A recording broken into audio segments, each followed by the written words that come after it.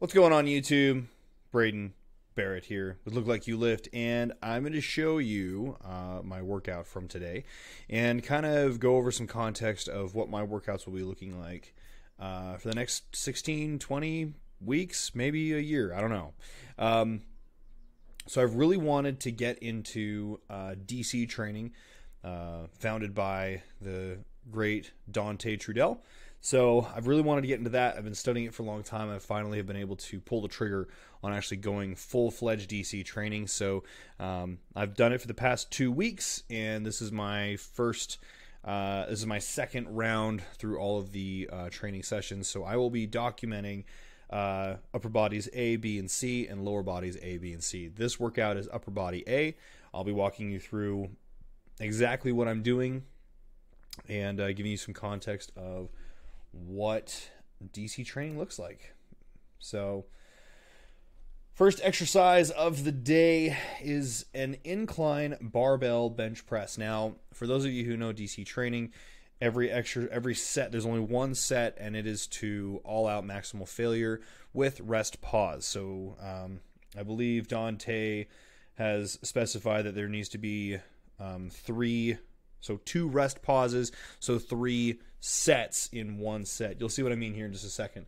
But that's pretty much what every exercise here, except for the last exercise of the day, has been uh, has been for the past two weeks, is um, rest pause training, one set to failure. And I'm actually I'm actually a huge fan of the one set to failure model.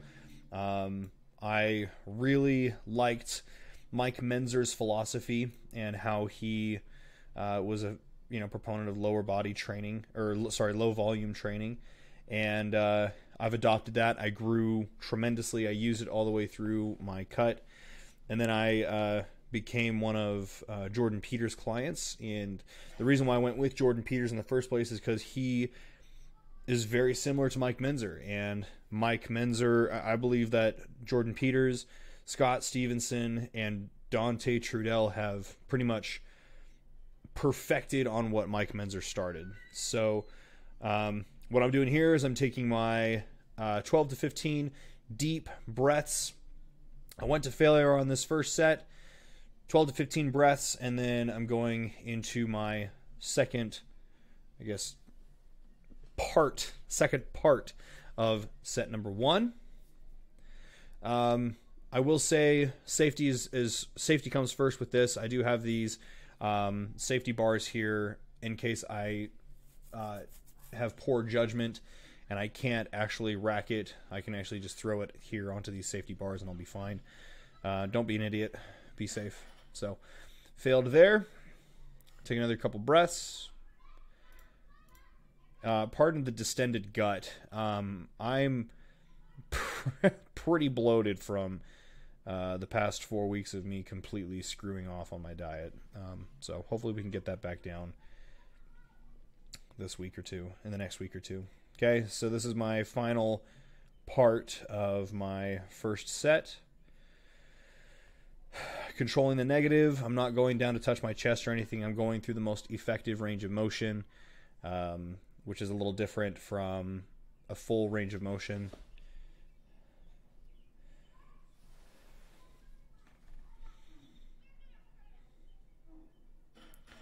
Okay, that is the first exercise incline bench press.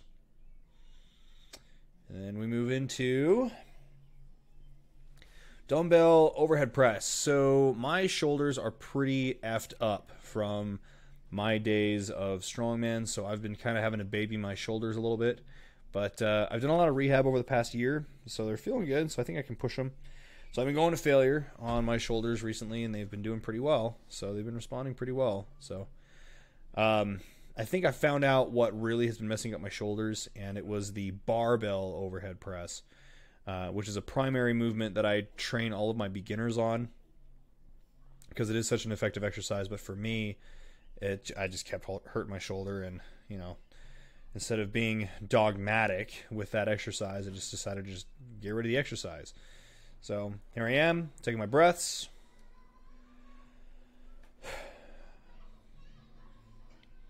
Um, another big thing about um, DC training is uh, tempo.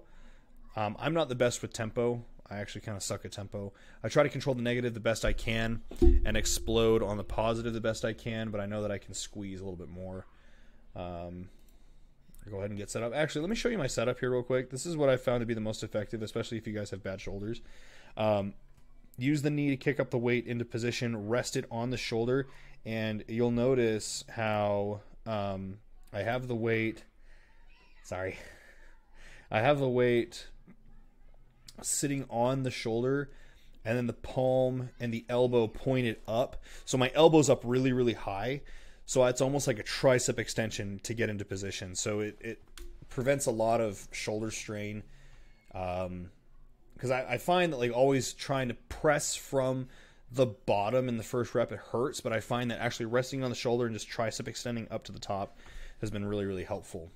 Um, so I make a lot of weird noises, so pardon my faces and my noises. So again, breathing, taking my breaths, and I go again.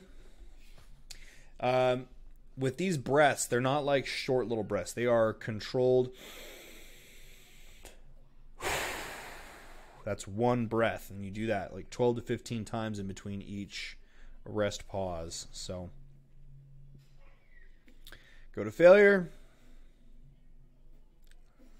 And failure is like literally you can't, and it's it's eccentric failure here. So, um, so I'm sorry, it's concentric failure here. So basically, where you can't do the positive of the movement anymore, so I couldn't do the positive anymore. So that's where I, that's basically done. So this next exercise, quick context with this. So this next exercise is a weighted dip. Um, so like I said, this is round two of these exercises. Last week when I did the weighted dip, I was on an actual um, an actual dip bar. The grip was too wide, and it was putting strain on my shoulders, and I was also putting a lot of the tension on my on my chest. And so what I'm doing here is what I used to do when I just trained in a barbell facility is I took two barbells, put it inside a safety rack or a, a squat cage, and I actually put these pretty narrow so that I, I can use my triceps more and take a lot of the stress off of my shoulders. Um, but error on my part, this is the same weight that I did last uh, for, uh, on the last round where I had a wider grip and more muscle mass was being used in the exercise. With this setup, only my triceps and my shoulders are really doing most of the work. So with the reduction in muscle mass, you should also reduce the weight. I didn't do that. I should have got between 15 and 20 repetitions for the entire set. I got like 5. so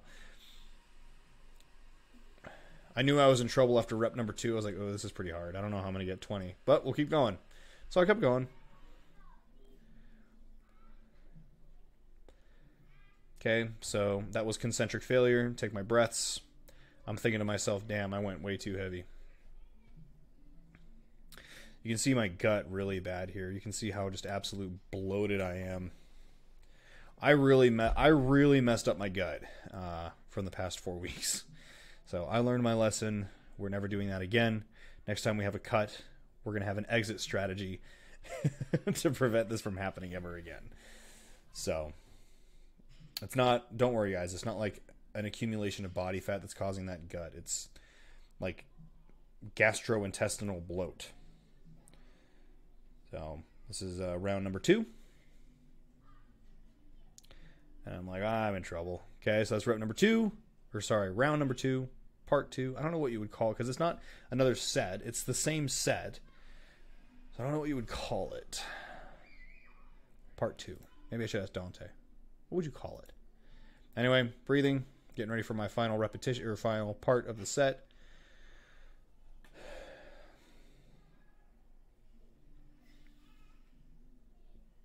Could only do the the eccentric portion of this part. Couldn't even lift myself up. So Oh, I got myself up.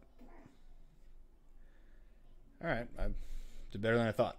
So, but I wrote that down. I wrote it in my logbook. Hey, since it's new form, reduce the weight significantly. Okay, so next exercise. This is um, I call it the wide grip lat pull down. I'm actually not a big fan of like having the grip all the way out here on these ends. Unless you're like six foot six, I don't really don't think you need to be gripping out that wide. Um, I think this grip for a wide grip lat pull down is perfectly fine because what's important here, like I've said before, is the most effective range of motion. Having the grip all the way out here in the very ends trains the lat, which is what we're trying to train here, in a very shortened range of motion. So a more effective range of motion is going to be out here. So I also am using straps here so that my grip is not the reason for me failing. It is the muscular exhaustion. So big fan of using straps. I usually use figure eight straps, um, which is a strongman implement uh, or a strongman tool. Um, but I didn't have them today. I had to use these. Uh, I'm actually not a big fan of these. I actually like figure eights. So same thing here. I'm pulling. I'm, I'm pulling down explosively. So con- concentric is is quick, and then the negative is nice and slow. Um, a big thing that I see a lot of people messing up with their lat pull downs and their chin ups and everything is they try to pull from the arm first. Okay, if you're pulling from the arm, your your back isn't doing any of the work. Okay, and so that's why you're you can't grow a big thick back. So while I'm breathing, I'm taking my breaths. I'm explaining this. So you want to think about like your scapula, your shoulder blade. You want to think about trying to pull your shoulder blade down first without having to bend your arm. Okay, so you should see this motion. And I actually do that as a warm up in these exercises. I just focus on trying to pull my shoulder blade down. And that should be the first part of the movement. And then you can pull through the lat and then you can pull through the arm. That's the only way that you can do this without you know, trying to get a bicep workout and actually just training your back the, the correct way. So I'm strapping up again, getting ready to go. I pull down through the scapula, pull down through the lat, and then I and I also give a bit of a squeeze at the very bottom too. I squeeze, try to think that I'm trying to squeeze my elbow to my lat, like I'm pinching my uh, armpit. I'm trying to squeeze my armpit together. Um, Another big thing that I see is a, a, a, big tell if you're not using your back in your in your pull downs is if you're slouching at the bottom. Okay, if I see like a rounded back at the bottom, then I know that you're not using your back completely. Your chest should be lifted up at the bottom of the lat pull. Like your nipples are pointed at the ceiling. That's how you know that you're doing it correctly. Uh, breathing again. Know it's really boring. I feel bad for my wife having to film me in my rest pauses because it's probably not very fun. So I'm just breathing. Why can I not click on anything now? Hang on. Hang on, guys. There we go. Maybe? Nope. I can't click on my video. What the heck? Is it Loom's fault? I think it's Loom's fault. All right, whatever. We'll keep going. I'll just use my keyboard. Same thing here. Just pulling through, squeezing, and then controlling the negative.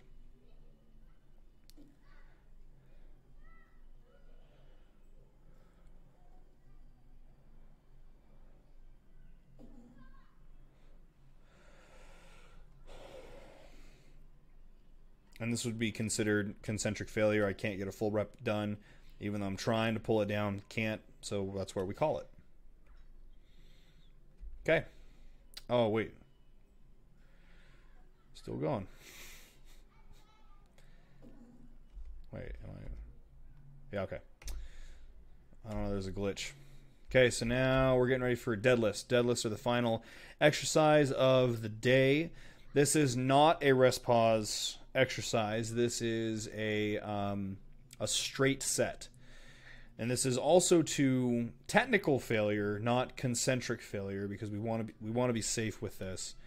Um, with these bigger exercises, we want to try to do like technical failure. Like if I were to do another repetition, if I were to do another rep, it would not be pretty.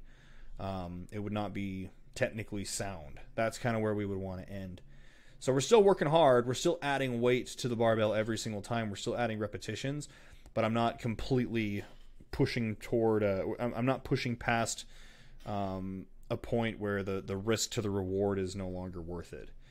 So Um, I get a lot of people who ask why I lift in weightlifting shoes um, and why I have my clients lift in weightlifting shoes. My headphones got in the way; they were slipping off. So um, I can go into that in another video. Uh, but the biggest thing is, look, I'm not a power lifter. I'm not a strong man. I'm not trying to go for any world records here. So it doesn't matter if I'm pulling with a lifting shoe on. That's the first thing. The second thing is the shoe actually allows for me to get my lower back and extension a little bit better, so I don't have to think about it as much. Um, so for, with previous back issues, that's kind of what I what I need. So I actually really enjoy lifting and lifting shoes. Um, so leave me alone. okay, so that's pretty much it, guys. That is um, that was upper body session A. Um, there's A, B, and C, and then there's lower body A, B, and C, and then we cycle through them. So this week is upper body A. Wednesday's or sorry, today's Tuesday. So today is upper body A. Thursday is lower body A. Saturday is going to be upper body B. Next week it'll be lower body B, upper body C, lower body C. Did I do that right? A A B B C C. Um. So yeah, pretty fun. Really excited to do this style of training. I've wanted to do it for a long time, but I haven't been advanced enough to try it. So I feel like I'm finally at that point where I'm ready to give it a shot. So I feel really good about it. Um, thanks for watching, guys. I'll be doing more of these. I'll be doing one of each uh, one of my days of training, so you guys can check it out. And uh, you can even ask yourself, are you training hard enough? So, okay, guys, thanks for watching this. Like and subscribe, and uh, we'll talk soon.